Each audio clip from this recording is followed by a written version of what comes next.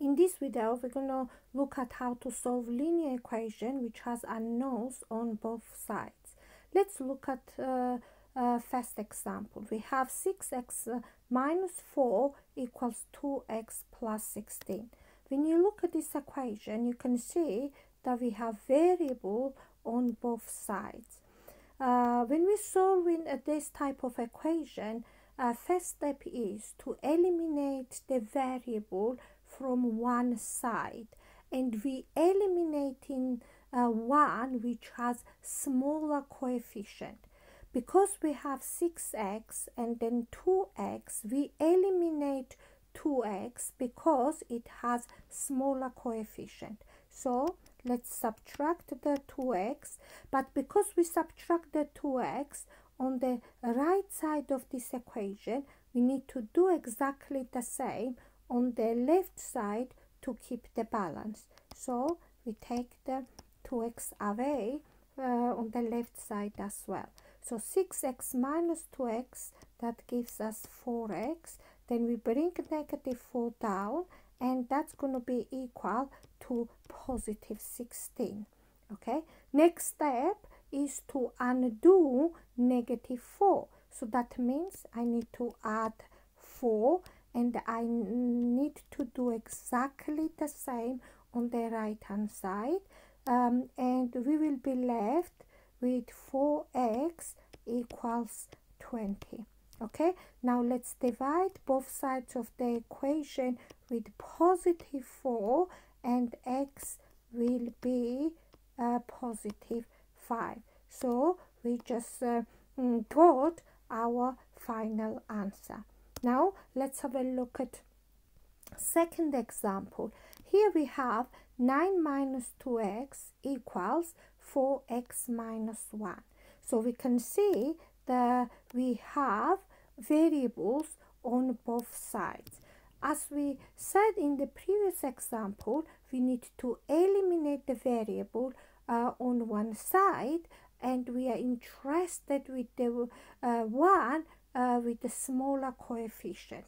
As we have negative 2x and positive 4x uh, we will eliminate uh, negative 2x so we need to add 2x uh, on the left side of this equation in order to eliminate negative 2x so I have to do exactly the same uh, on right hand side. So we will be left with 9 equals uh, 6x minus 1 now let's undo negative 1 so we need to add 1 on both sides of the equation.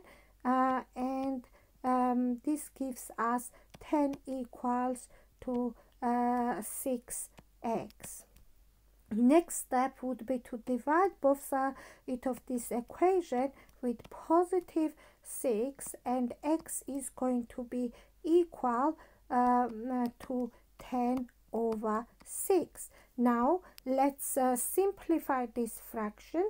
So uh, you can see that uh, they have uh, so we can uh, divide both top and bottom of this fraction by 2 which gives us 5 over 3 okay so we just got the final answer.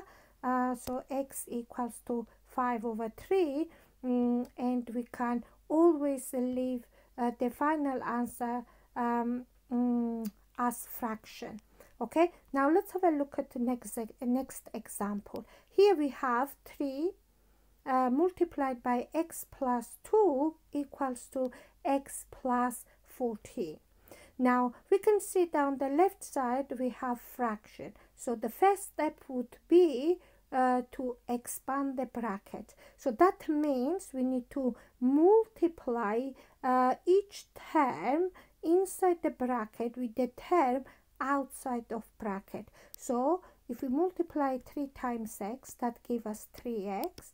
Then we multiply 3 by positive 2, and that would be positive 6, which equals to x plus 14.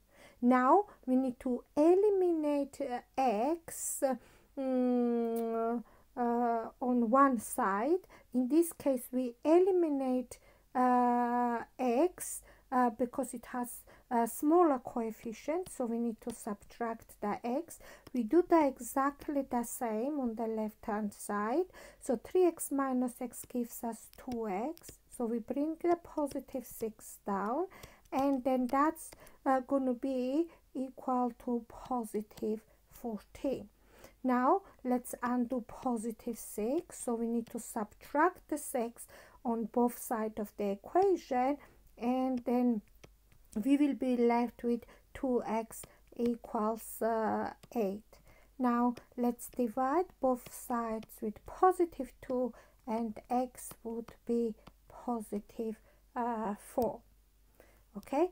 Now let's have a look at the final example.